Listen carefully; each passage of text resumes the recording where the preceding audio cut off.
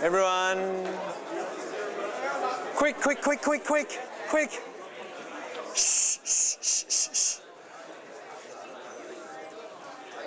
Hello, everyone. Here we go. Week two. We're just about to finish week two. It's a milestone. Well done for making it so far. Who's done the prac exam? Okay, that's really good. Who, who still has a prac exam ahead of them? Okay, excellent. If you guys that have already done the prac exam had a piece of advice for those that have yet to do it, what would it be? What's that? Tell them everything. Tell them everything. Uh, what would your piece of advice be? Learn how to do linked lists. Learn how to do linked lists. That's probably the best advice you could have given. Yeah, you certainly need to know about pointers and linked lists because. Shh, shh, shh, shh, shh, shh. Who does know about pointers and linked lists? No one. Who's completely forgotten everything they learned in the previous course? Excellent, fantastic. Okay. Um, so the prac exam's there to sort of tell you what we expect you to know. So it's absolutely fine. It's absolutely fine if you don't pass the prac exam, but it's not absolutely fine if in a week or two's time you would still fail it. And certainly by the end of the course, if you still haven't learnt the stuff that we expected you to know at the start of the course, you know, that, that's actually a very serious problem. So just regard it as an alert. We don't directly use any of that stuff for another week or two. So you've still got a week or two to catch up on anything you're behind on.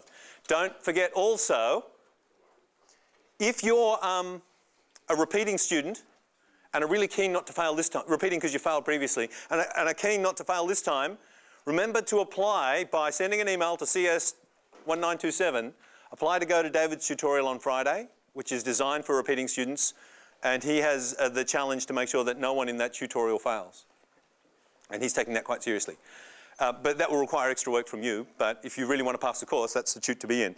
And if you fail the prac exam and are freaked out completely and think there's a whole lot of stuff you don't know that you should know and somehow you didn't learn it in the previous course, then what you could do is also mail CS1927 and beg to get into that tute too. And if there's any spaces, we'll take a few extra people and slip them into that tute. Um, but your normal tutor will also be able to help you because your normal tutors are fantastic and really nice. And most of you have met your tutors by now and hopefully realise how simultaneously very smart and very nice they all are. In fact, I can see some of them sitting in the room right now. So that's very good. Just watching what you're doing. Okay, let's, let's get into the lecture. Sorting. Lecture slides. This is the last week you won't need to log in to view the lecture slides. As of next week, everything you need to log in. So make sure you do get your login set up in your lab this week, your wiki login. Okay, let's go. So that's what we did yesterday. Here's what we're doing today. Let's make it big.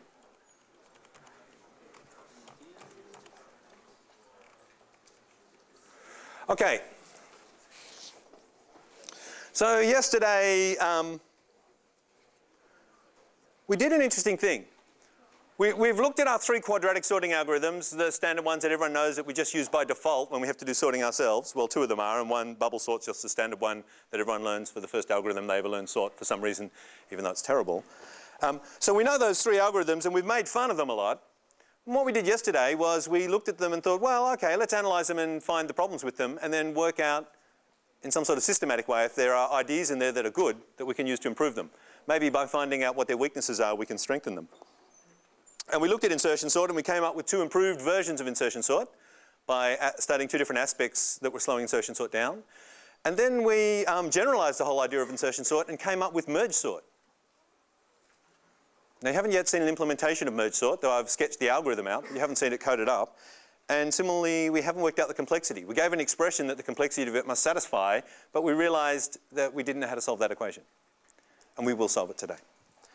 So that's what we were up to yesterday. So we took the idea of insertion sort and we played with it and we got some good sorts out of it. And why did we start with insertion sort? Because of the three sorts it looked the most promising. What neat property did it have that the other two, bubble sort and selection sort, didn't have?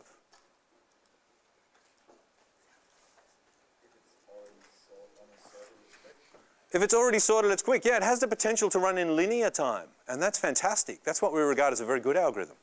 So It has this sort of really good upside, but in the, that's only in the best case. In the worst case, it's n squared, and in the average case, it'll turn out to be in the n squared too, that way. Not so interested in average cases. Okay, so today let's look at bubble sort and see if we can do the same thing. Now, we always make fun of bubble sort because it's weak, but easy to implement and easy to get correct, so it does have that nice property. Do you remember when we were analysing bubble sort, we did, came up with an expression to compute how many cycles it would take to execute a bubble sort program on a fictional chip that we postulated? Sometimes it ran faster than other times. What was the difference between it running fast and running slower? I mean, what's the difference between it running slow and running slightly slower? what was it that was changing?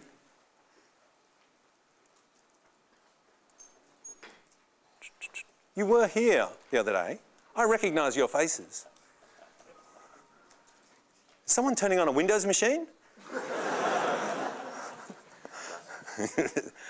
um, what was it that slowed down bubble sort? It wasn't completely oblivious. It didn't always run at the same speed. There was something in the input data that would cause it sometimes to speed up or slow down. What was it? If it's already almost sorted. If it's already almost sorted, what didn't it have to do? Sort. Unfortunately, it's an oblivious sort. It still tries to sort, even when everything's sorted. But there's one thing it doesn't do.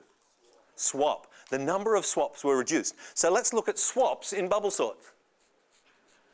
Okay. When do we swap things? Well, if you remember, bubble sort, it compares adjacent elements and swaps them when they're out of sequence. Let me write a sequence on the board. And let's just... Um, the general approach, let me say what I'm trying to do, is we're not just going to jump around and pick an algorithm and then talk about it and then move on and jump around and pick another algorithm and talk about it. Okay, that's like a menagerie approach to algorithms.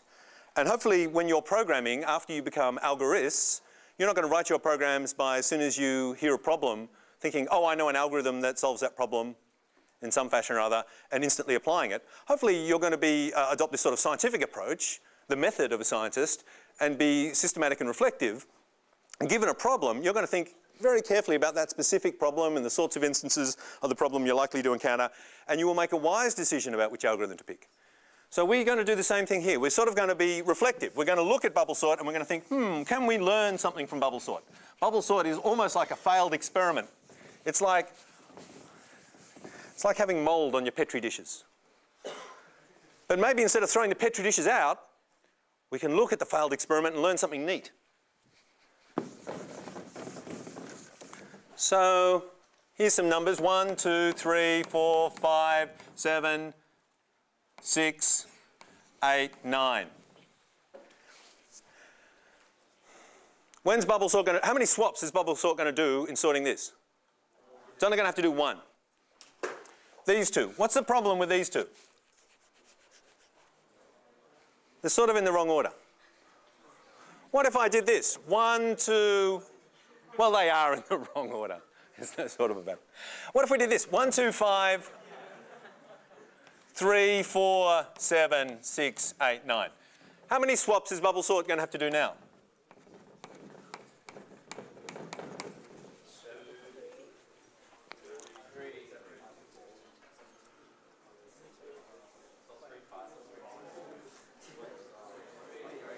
Oh, okay, there's lots of thinking. I like this, it's good. Hopefully everyone's thinking. If you're just sitting there, this is a clue. This is like a litmus test for how well you're going at uni. If you're just sitting there thinking, hmm, hmm hurry up and tell us the answer, that's not good. You've got to think, take a good hard look at yourself and think, why am I at uni? What do I want to get out of uni?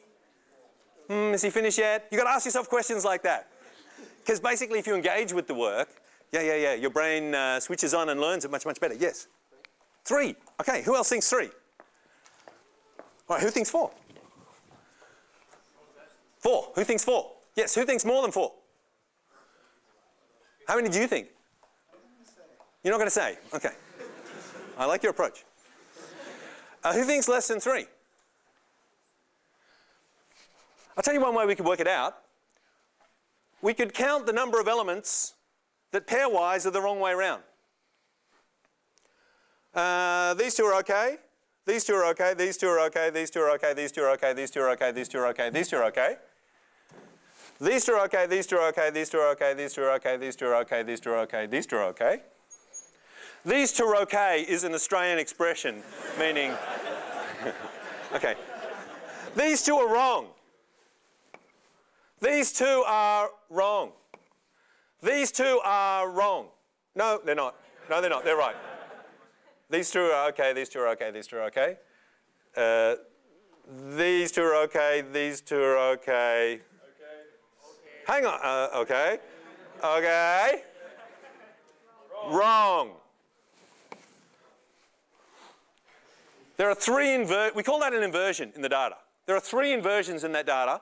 If you look at what a bubble sort does as it operates, every time it swaps, it undoes precisely one inversion. So that's a quick way. So let me give you another puzzle now. One, two, three, four, five, seven, zero. Quickly, just tell me, how many swaps is bubble sort going to have to do? Six? Oh, you guys are quick. Shh, let's see. Wrong, wrong, wrong, wrong, wrong. This is what they tell us in teacher school never to say. wrong, wrong. Everything else is okay. How many was that? One, two, three, four, five, six. Well done, guys. Okay, cool. All right, that's really good. So the number of inversions, do you remember what an inversion is? Do I have to give a formal definition? An, an inversion is defined as not these two are okay. this has uh, six inversions, so bubble sort's going to take six swaps to get rid of it. What's the most inversions I could possibly ever have in n items? N minus 1, close. n minus 1 plus the first one could be wrong with everyone else. Then the next one could be wrong with everyone else. You've not seen this expression before. What's the value? n outside of n plus 1. Is that right? Ah, is it n plus 1 or n minus 1? You sure? You're not tricking me? There's. I'm just going to believe you. Yeah, it's confusing me too because it's like the first and the last. Oh, hang on, that's n minus 1. Times the number of elements divided by. Yeah, it is n minus 1. Yeah, okay. So I told you it was n minus 1. Okay, so this here, that's what a mathematician would call it, but what do we call this? n squared. It's wonderful.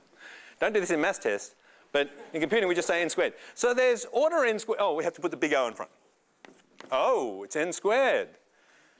If there's n squared inversions in the worst case, and each time bubble sort runs, it undoes one, each time it does a swap, it undoes one inversion, or each time there's one inversion, it does one swap. What's the worst case number of swaps that bubble sort's going to have to do? N squared. It's got to be an n squared algorithm. We can't escape it because there's n squared inversions. If you look at insertion sort, if you look at selection sort, every comparison they do, they undo at most one inversion. So these guys are doomed in the worst case to be n squared. Can we break the n squared limit? Can we get better than n squared? Bubble sort is bad, but it's going to give us the keys to breaking the n squared barrier. Because we've seen, in order to break the n squared barrier, what is our sort algorithm going to have to do? For each comparison or for each swap, suppose it's a swap based one, what's it going to have to do? It's going to have to undo more than one inversion. Now, how can you undo more than one inversion? I suppose I'm going to swap two elements in this list. How am I going to undo more than one inversion? Or, or, what is it about bubble sort that means it only fixes one inversion each time? What's the problem? It swaps adjacent elements. This is the clue. If we're only ever going to be swapping or comparing adjacent elements, we're doomed to be n squared. So let's be bold. Let's swap elements far apart. Do you remember what I did in the very first lecture when we had poor Jared down here with a bag over his head? that was excellent.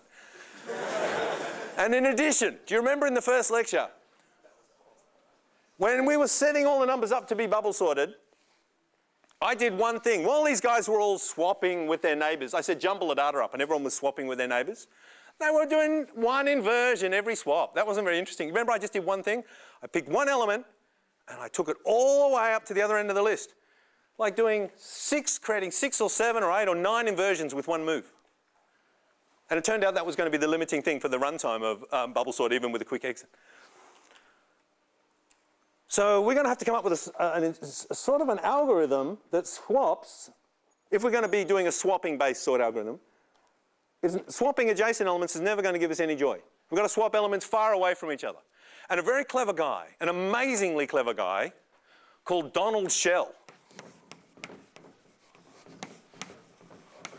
And in fact, my second daughter's middle name is Donald Shell. but I've never told anyone that, including the government. Back in the late 50s or early 60s, a very clever guy came up with a sort that he called shell sort. And here's how it goes. It's just like bubble sort, except instead of comparing elements with adjacent elements, you compare them with elements a long way away. And the, the, the long way awayness, the, how far away they are is called like the, uh, let's say that's the gap.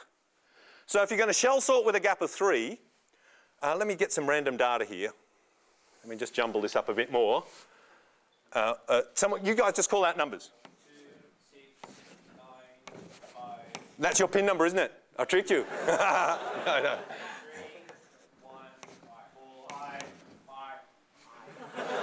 Pie? Pie? I? I? Triangle? Sausage?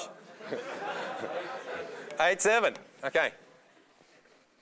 Okay, we're going to swap these numbers using shell sort. And we're going to have an interval of three. Here's how it goes. You say every third, if they're a third apart, three apart, we just regard them as being the same, in the same group. So these guys are in this group. These guys are in this group.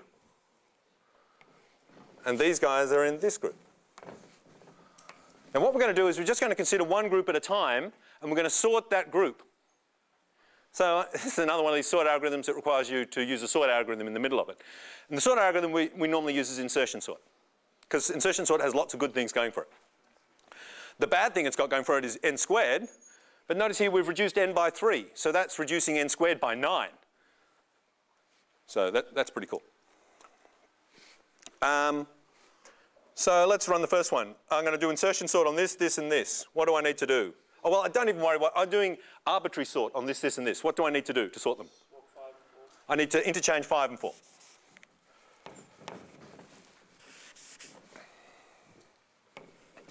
And then I'm going to sort. Oh, and how many versions did this fix, that one swap? One? Ah, I expect you to be able to work this out. And I'm just thinking what a great lab question is, so we don't have to do it now. So this is, this is a lab question. I hope, and you have to remember exactly the numbers we've used. There's only one inversion? No, it can't be. Well, it fixed three inversions, but it made two more. It fixed three but made two more. Because the five was higher Oh, you're right. Yeah, yeah, yeah. Okay, don't, let's not worry about that. no, let's not worry. Let's just focus on the fixed three part. Okay. okay, so now we're going to do the um, six, uh, eight, three. How are we going to sort that? Well, it's going to be three and the six are interchanged. And then we're going to do this group at the top, the nine, one, and seven. Oh, that's a big change. We've got to do the one to here, the seven to here, and the nine to there. Okay, now we've three sorted that list. It's not sorted, is it? But it's better than before. What's probably happened now is the number of inversions overall has reduced drastically. How many inversions were there before? How many inversions are there now? These are good questions. now, I'm going to do something that's going to seem like magic. Or should I just tell you? I'll just tell. Uh, let's have a vote. Let's, let's have a vote. Who thinks I should show you something now that's going to look like magic, but it's going to take a minute or two of fooling around? Oh, yeah. yeah. I said the word magic. Uh, instead of magic, I should have said hard work. Who thinks I should show you something now that's going to be really hard work? okay. All right, let's do it. So let's now sort them with an interval of 2. So this one goes with this one. I'm going to rub those out.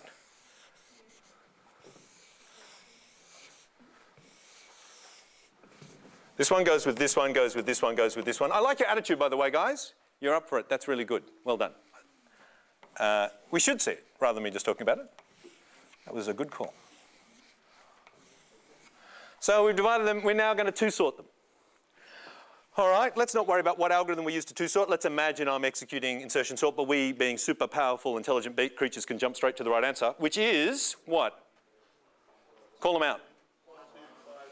One, two, five, six, nine. And these ones here? Already sorted. Okay. It's still not sorted, is it? Yeah, it's, it's got a small number of versions left, but it's still not sorted. But here's the magical thing. I three sorted it, which is a crazy idea in itself, and it seemed to jumble things up a lot. Now then I two sorted it, and that seemed to jumble them up even more. Lo and behold, let's go back to our three, partitioning it into groups of three again. And let's just have a look.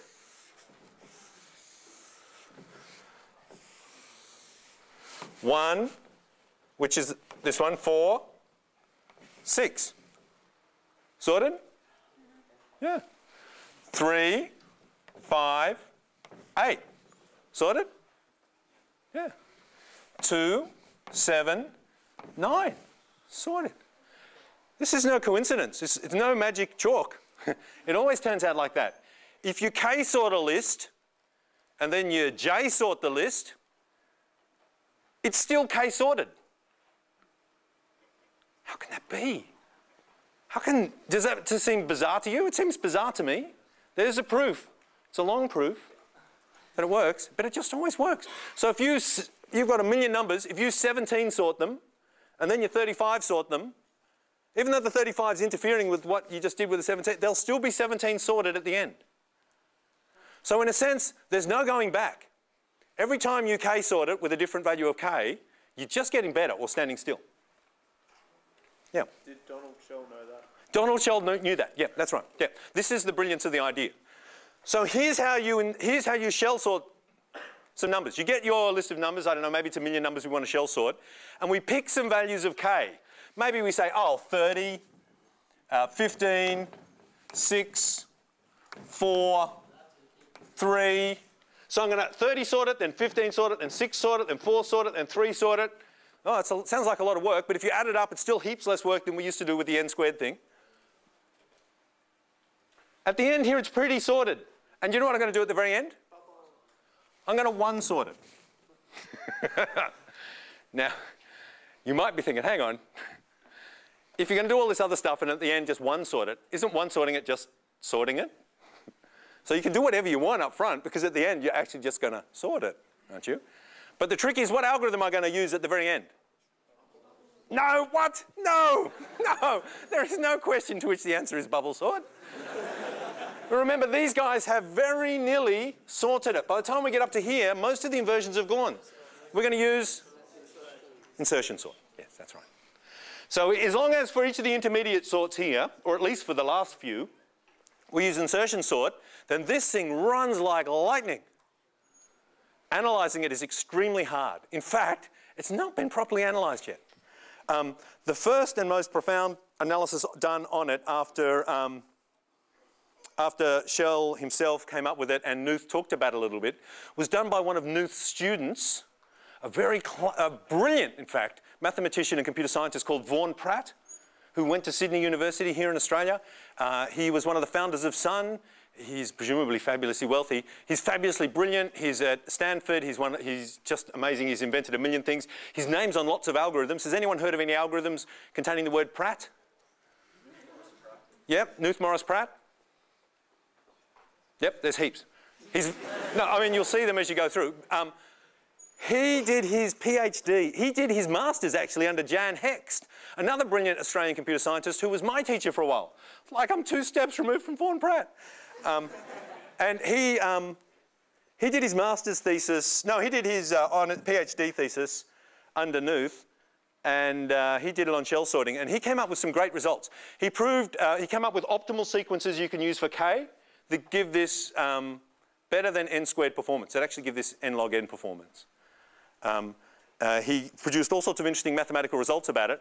But strangely enough, even in spite of all the brilliant work he did, and I think even Sedgewick did a bit of work later on after that. Sedgewick, the guy that wrote the textbook that we're using for this course.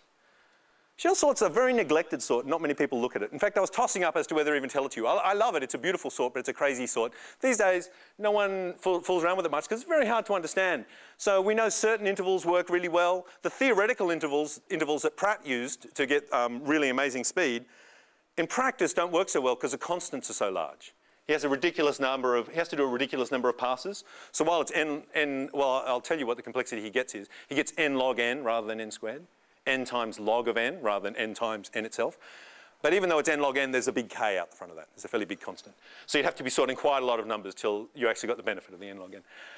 Um, so yeah, so we know some good intervals to use, we know bad intervals to use, and we still don't even know what the optimal intervals really are. There's still lots of open questions. So if you ever wanted to fool around and do some original research on your own that no one else seems to be interested in doing at the moment, especially if you had some sort of parallel computer or something neat like that to fool around with, as an undergrad student, you could do worse than fooling around with shell sort and trying to get some neat new results for it. So that shell sort, very beautiful. Can I tell you a funny story about shell sort? yes, please. Uh, it's only funny to you because you're not the students involved. Um, it's about the main principle of shell sort. All the things I've said about shell sort, we've maybe talked about it for five minutes, maybe a bit longer. What's the most important or interesting result that I told you about shell sort?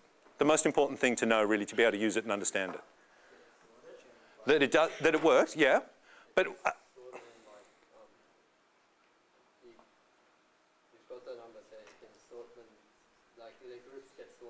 Ah, yes, yes, yeah.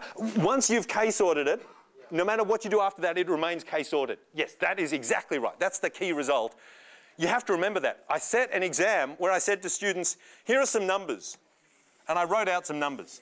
And then I shall shell sort them with the intervals um, 5, 9, 18, uh, uh, oh, 5, 9, 17, 31, uh, 16, 25, uh, I don't know, uh, uh, 4, 4 uh, uh 12, 13. I have a ridiculous number of intervals to use. Uh, and then I said, and last I said 3. And, and I said, how many exchanges occur on the last pass? I'll ask you the question. Sort them with 5, 9, 17. oh, sorry, I've got that wrong.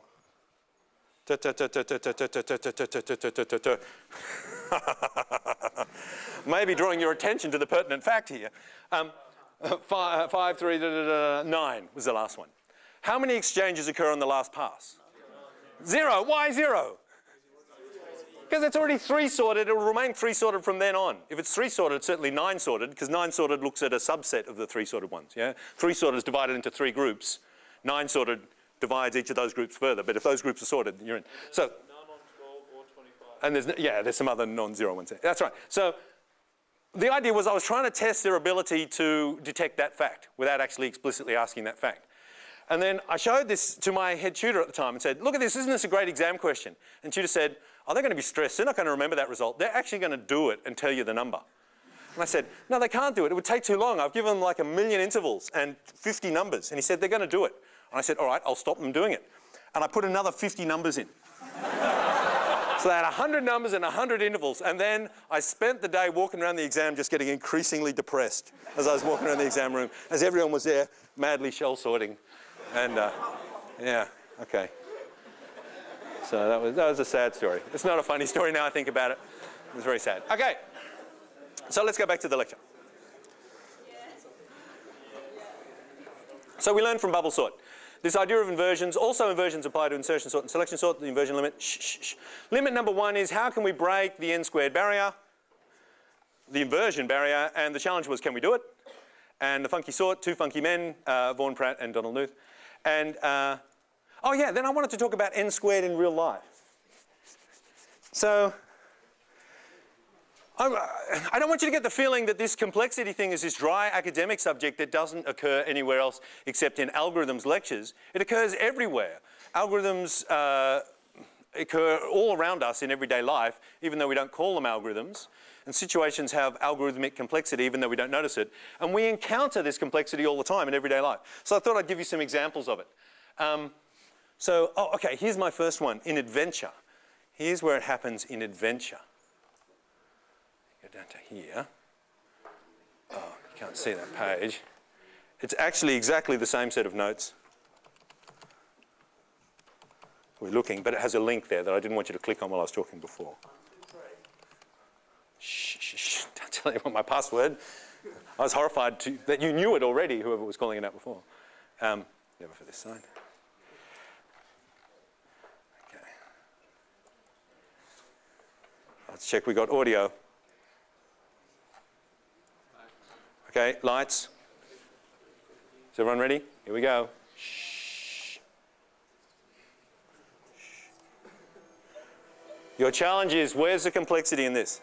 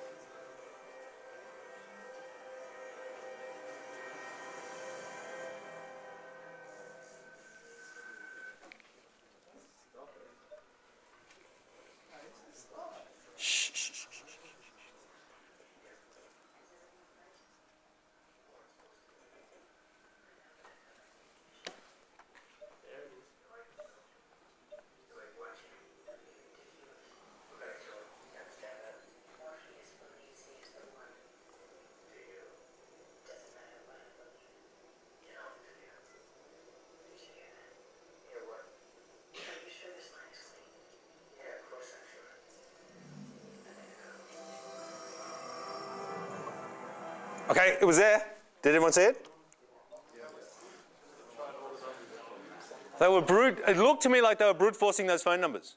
Is that what you reckon? It appeared out of order, yeah, so there was some odd thing going on.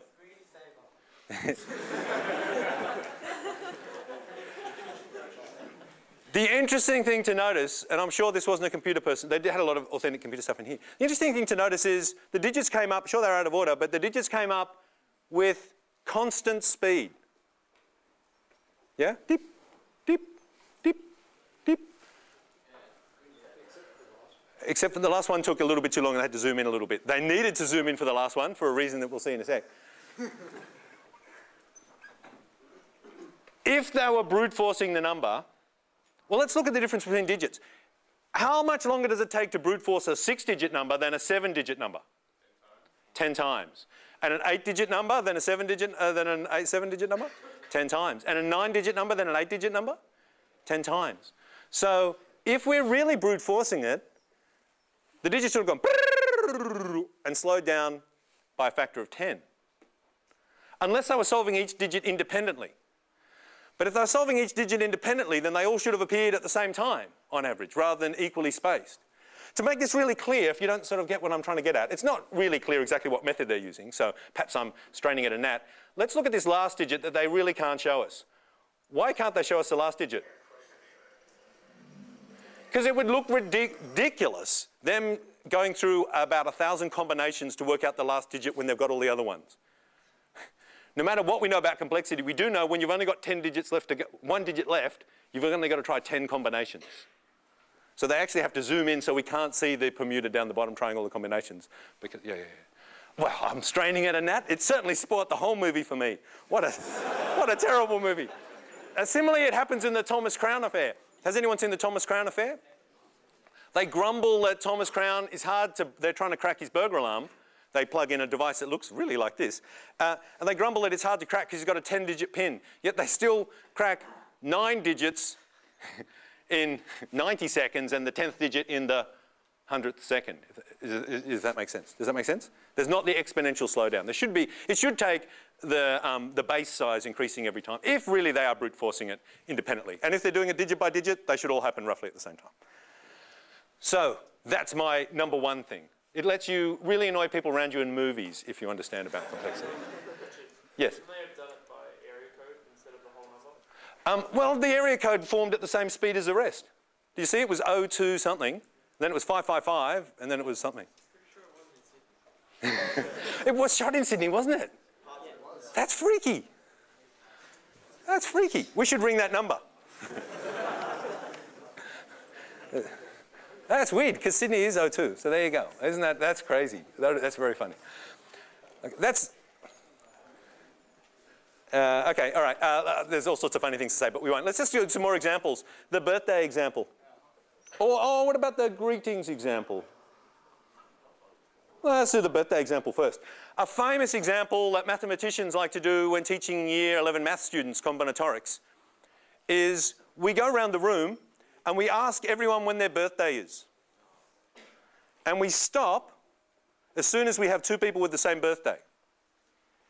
Now, in a normal class of 27 or 28 people, they're hoping that naively you would think it's very unlikely you're going to find two people with the same birthday. But actually, the odds are greater than 50% that you will find two people with the same birthday. Does that make sense? Why is that the case? Has everyone had their math teacher do that to them? No, you haven't. Oh, okay. Pretend I'm your math teacher. So, okay, class. Yeah, who had a good holiday? Okay. Okay. Then, oh, I'm going to do something fun. Okay. I want you're going to have to say. Now, this is unfortunately is giving away your birthday. So, I want everyone to pick a birthday of their brother or sister. Don't pick a random one because you won't pick a truly random. Pick a birthday of someone else you know, and just say the month and the day. 24 March. March 2nd. 7th of April. 31st December, 31st December. As soon as someone says the one you've said, can you yell out? 15 July. 30th August, 30 August. January 20th, It's not going to work, is it? It's just there's too many days. There's too few people. We'll never get there. January 20th.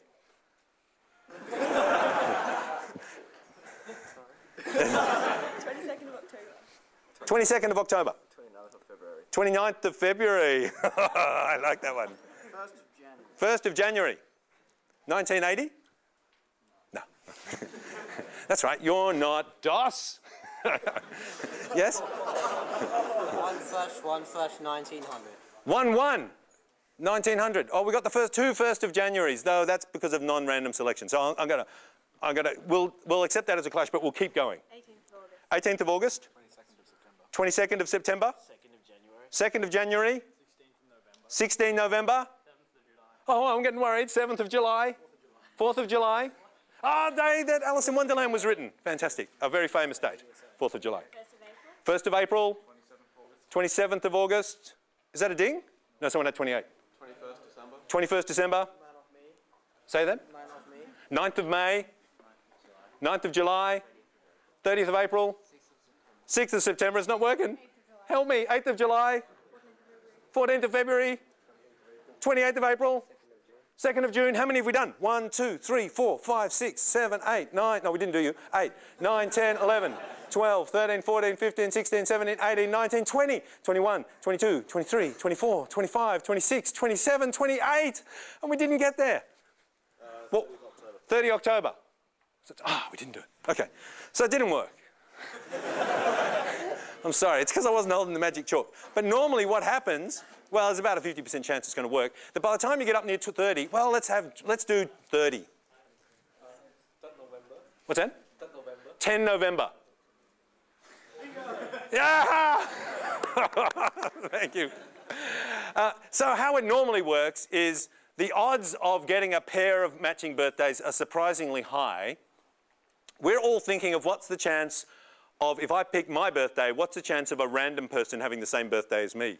What's the chance of a random person having the same birthday as me? 1 in 365, presumably. So you think roughly, if I go through 30 people, that's like 30 out of 365. That's got to be like 1 in 10 chance of getting a match. Yeah, yeah, of matching with me. But the chance of anyone matching with anyone is much higher. Because how many ways are there of picking two people out of 30? How many pairs of people? 30C2, which is equal to? No. 30C2? No. NC2 is n times n minus 1 over 1 times 2 equals? 32 I didn't want to know the number, though. I wanted to know n squared. the number of pairs, if we're looking at pairwise matches, grows as a quadratic function. It's order n squared. It's in fact that same formula we keep seeing over and over again, NC2. Does that make sense? So this sort of trick works because people's intuition is naively thinking it's a linear function, so the chance of it working is low, but actually it's a quadratic function, so the chance of it working is quite high, though it doesn't always work. okay, so that's another example of complexity. Not a compelling one, I'm afraid to say. What about greetings? When you walk into a room, if you greet everyone already in the room, suppose it's a dinner party, how many greetings do we have going on? N squared. The first person comes in and does none, because they're the only person in the room. Second person comes in, one greeting. Next person has to greet two of us. Next person has to greet three of us. Next person has to greet four of us. You can see it's one plus two plus, it's going to be n squared. So greetings or pairings of people tends to be um, quadratic.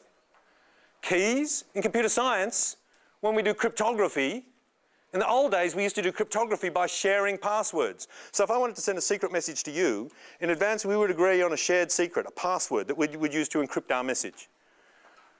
Okay, like bananas. Open to dictionary attack, but let's say it's bananas. And now I want to send a message to you. Now, unfortunately, nature of the internet, nature of communication generally is it's open to eavesdropping.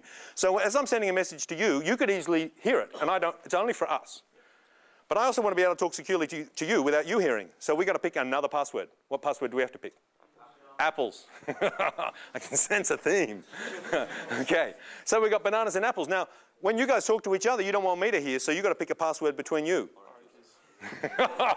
Oranges. Okay. In general, with n people, how many passwords are we going to need? n squared. This works fine if there's a small group of spies in a spy network, but what if there's a million people on the internet all trying to buy stuff from eBay? It doesn't work. What's a million squared? 2b. Yeah, it's a big number. You don't want to have to think of a million keys and share them in advance. That's just not going to work. So the problem is the number of keys we need to have a secure crypto system scales quadratically. And as the size of the system grows, it becomes less and less manageable. And this is called the key management problem. Uh, so, in fact, a whole new branch of cryptography was sort of developed, and one of the reasons for that was to deal with the key management problem, and that's called uh, public key cryptography. And in public key cryptography, I can tell everyone what my key is, because knowing the key to talk to me, yeah, the key is fruit. I'll tell you, the key to talk to me is fruit. It turns out you need a different key to decode the message than to encode the message. So if I tell you all the same key for encoding, for sending me the message, it doesn't help you eavesdrop on anyone else's messages because that's not the key you need to decode. And that makes it linear again. It makes the problem slightly more manageable. It goes from quadratic to linear because what quadratic just wasn't working. Uh, I had another example. Um, books. Yeah, yeah, yeah, yeah, yeah, yeah, yeah, yeah. Okay. I have some awesome science fiction, hardcore science fiction books. These are E. E. Doc Smith. He's a doc, he's a scientist. These are brainy books. Triplanetary, Galactic Patrol, First lensman, grey lensman, second stage lensman, children of the lens. How thick are they? Guesstimate the number of pages. How good are you? 250, well done. So to read n books in the series, how much reading do I have to do? No? 250 times n pages. But I'm a computer scientist. N. It's linear. Reading this series is a linear task. I can handle linear tasks. Brilliant. Donald Knuth. Three volume set, soon to be four. Every one the same thickness. Reading the books is a linear task. Patrick O'Brian writes awesome seafaring novels. I've just got the first four here. What's that? J.K. Rowling. J.K. Rowling doesn't write seafaring novels. see? See? So, this one's a bit fatter, but essentially linear. If we knew the number of pages, we could fit something to it. Do you agree? If we did want to talk about fantasy, Ursula Le Guin, best fantasy writer ever. Wizard of Earthsea trilogy. One, two, three. The second book's even thinner. Linear? Linear. J.R. Rowling. The Philosopher's Stone. J. Oh, J.R. Tolkien. I get them mixed up all the time. Okay, here we go. A reasonably thin book. Not much content, but at least you don't have to spend hours reading it. She's famous now, so she doesn't have to listen to the editor so much, so the book expands a little bit. But it's only a little bit fatter. book number three. Oh, look at that. It's looking like each book is getting a constant amount bigger than the previous one. What's that going to give us?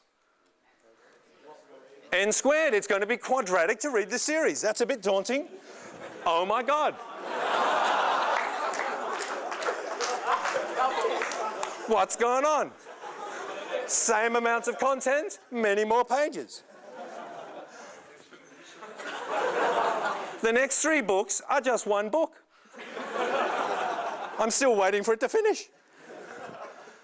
What do we see? Is this exponential? Remember, I complained that humans are inclined to call things exponential when they're not. We have to be careful with our choice of words. What you need to know as to whether Harry Potter is really exponential or not is the exact number of pages in each of these books, which is your lab exercise for this week. And you'll need to fit a curve to them and work it out. If they are truly exponential, then if she decided to write another story, it would possibly involve a thousand books. And at the current rate, I was, I was really excited. I was annoyed when I read this book or saw this film because I said, it didn't finish, it's just setting up for the next one. I asked you, what's the next one like? And someone said, it's the same as that one. And I thought, ha, oh, you're just joking. I went and saw it with my kids. It was, it didn't finish anything. It's just setting it up for the next one. And I said to my daughters, how many books are there? And they said, there's just seven. And I said, so the next one, she's actually going to have to finish something. And they said, no, actually, she's breaking into two movies. so, yeah, there we go. Okay. So, anyway, I won't give anything away about the movie, but it's my favourite part is when is when Voldemort says to Frodo, I am your father. That was the best bit. Okay. All right. Oh, so there we go. Now we're going to take a little break now. And after the break, we'll return to merge sort, which we've left in limbo.